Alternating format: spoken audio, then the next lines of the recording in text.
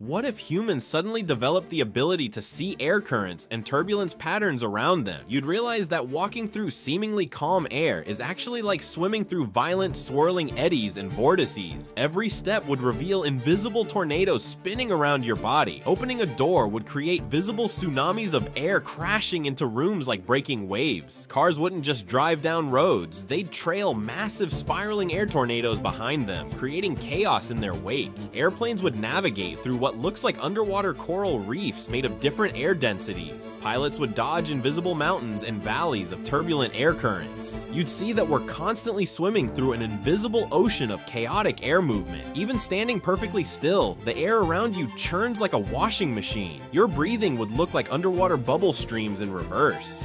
The revelation would be shocking. Empty space is actually more turbulent than the roughest ocean. We live in permanent chaos, we just can't see it.